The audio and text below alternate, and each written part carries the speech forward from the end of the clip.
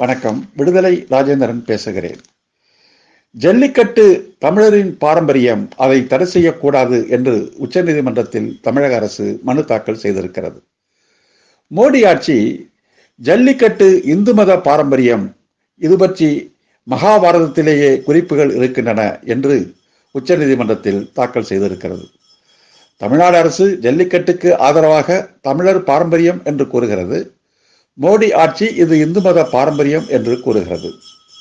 உச்சநீதிமன்றம் இதற்கு எதிர் கேள்வி ஒன்றை கேட்டிருக்கிறது. பாரம்பரியம் என்ற அடிப்படையில் எல்லாவற்றையும் ஏற்றுக்கொள்ள முடியுமா?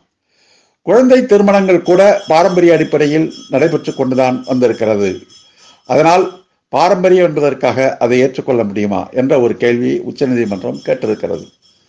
நம்மை பொறுத்தவரை ஜல்லிக்கட்டு விளையாட்டு தடை செய்யப்பட வேண்டும் என்பதில் உறுதியான நம்பிக்கை உள்ளவர்கள். அதில் சாதி அடங்கியிருக்கிறது.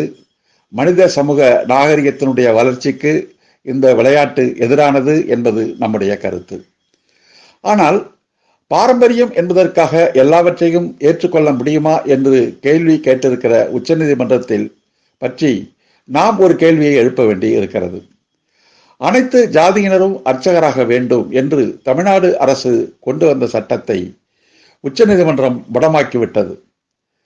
அந்த சட்டத்தை எதிர்த்து உச்சநீதிமன்றம் சென்ற பார்ப்பனர்கள்.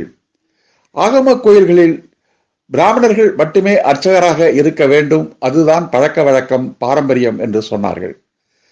இந்து சட்டத்தில் பழக்க வழக்கங்களுக்கு தங்களுக்குள்ள பாதுகாப்பையும் அவர்கள் எடுத்து காட்டினார்கள். அங்கே பழக்க வழக்கங்களை மாற்றக்கூடாது பாரம்பரியத்தை காப்பாற்ற வேண்டும் என்று கூறுகிற உச்சநீதிமன்றம் இப்போது பாரம்பரியத்திற்கு எதிரான கருத்தை கூறுகிறதே. ஏன் இந்த இரட்டை நிலை என்பதுதான் நமது கேள்வி. நன்றி.